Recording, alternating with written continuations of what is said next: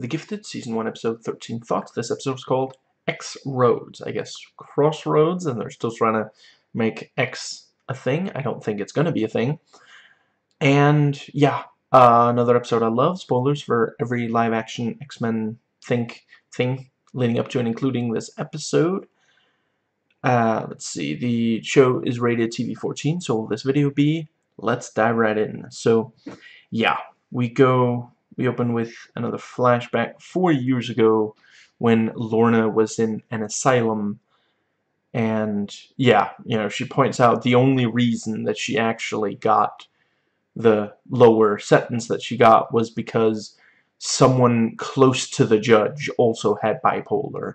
You know, it's not the the judge couldn't have empathized if not for that. You know, and that sadly is something that has you know similar has happened in real life. And yeah, you know, apparently Lorna attacked some some of the anti-mutant protesters, but the judge did not know that. And Evangeline, you know, she says we all have demons. It's about how we use them, and turns her arm into like a demon arm, which like reminded me of T2, and also just yeah, very very cool. That's her getting recruited into the the mutant underground. And let's see. Yeah, and back in the present, yeah, you know, the the triplets just don't really care that kids were being threatened by Dr. Campbell.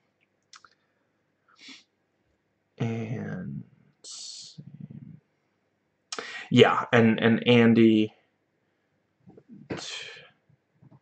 you know verbally fights the rest of the the Struckers. Right, I like the, the line, you know, I haven't seen hatred like that, smiling. And, yeah, and, and Andy, you know, yeah, Laurie tries to, to talk to Andy, and he says, you lying about your powers destroyed this family, why would you want to do that again? Just, yeah. And by the end of the episode, he hasn't apologized for that. So that's, yeah. And let's see the the um, yeah, you know, Jace is told, you know, the the place was was hit, and he's like by mutants, and the the other guy's like, who else? I mean, comic book universe could have been aliens, robots, time travelers. And seriously though, I do really appreciate that so far the show has kept it focused on mutants. Not let it get out of, yeah, out of hand. And, yeah, we're told, you know, the thing that she was toying with at the very start, you know, four years ago, that was this medallion she got from her biological father 13 at, at age 13 because he wanted her to be proud of who she was. And and yeah, very clever that you know, oh, there's like a toxic waste thing, you know, people have gotten sick. The yeah.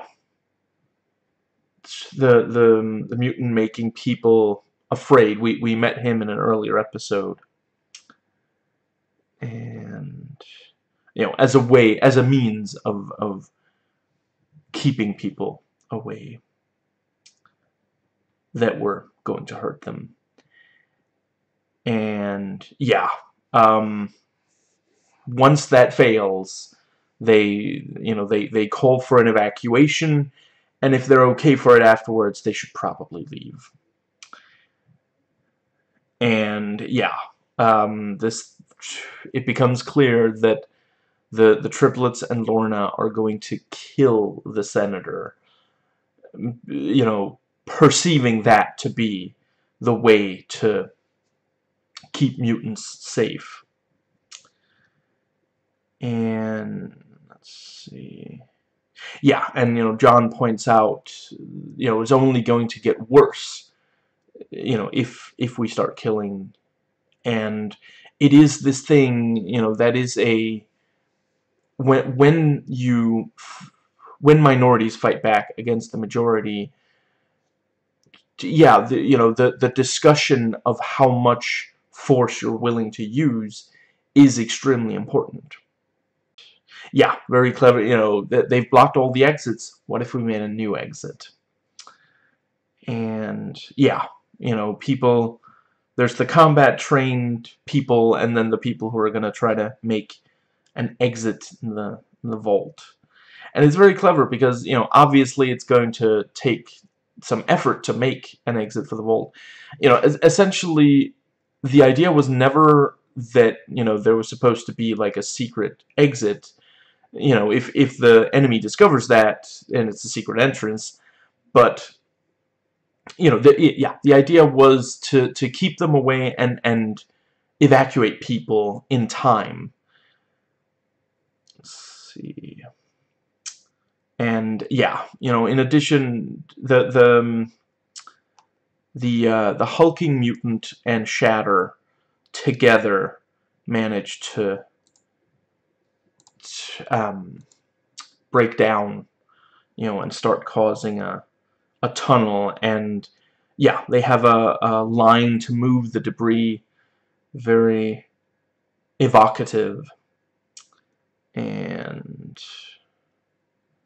yeah, very cool when the, the combat-trained mutants fight back. You know, the, the water blast especially was quite clever because it's this thing of, you know, like water, it's easy enough to get your hands on, so, you know, plenty of ammunition, but it's also, yeah, if it, if it moves fast enough, if it hits hard enough, it's, you know, it's more effective than, you know, just, like, yeah, a, a similar...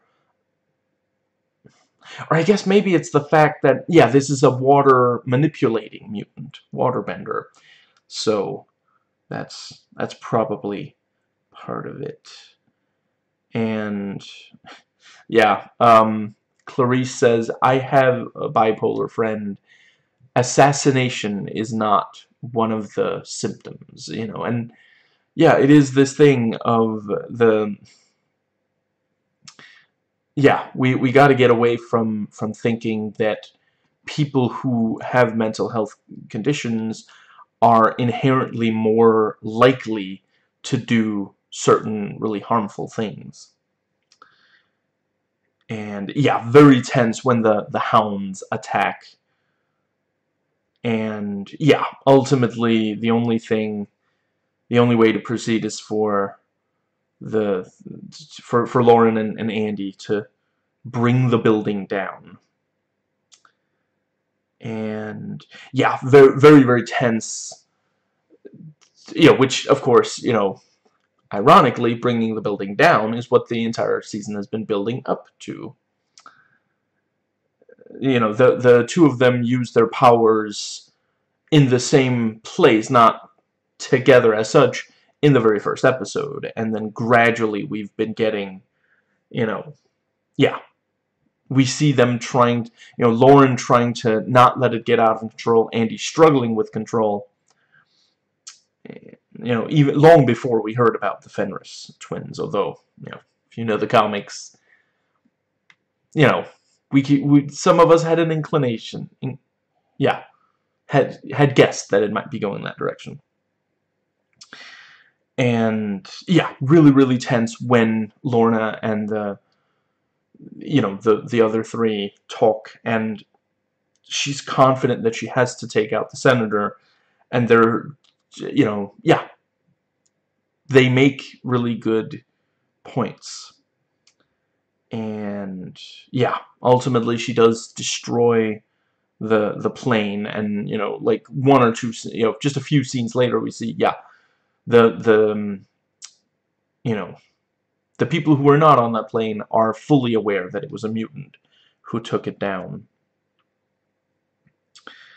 and yeah you know the the there's that exchange about you know what what about headquarters mutant headquarters it's gone it can't possibly be gone it's gone MacReady and yeah Jace feels like they're just looking for a scapegoat and quits, or, you know, re resigns. I doubt he's going to quit. I figure he's probably going to pursue it without, yeah. So that's going to be interesting. And let's see, yeah, we, you know, in the new location, the the Mutant Underground are discussing, and yeah, you know, the the um, it is basically falling apart even before Lorna and you know a triplet shows up to but but yeah you know and there's that line you know I'm not talking to you the people uh, that we're here for know who they are you know and several of them leave eh, you know having you know yeah they they feel like Hellfire is the better option. And even Andy leaves and you know yet again temporarily loses control of his power you know attacks his family yeah this was a solid season finale I am really really excited to see you know season 2 which I suppose I could just briefly get into. So let's see. The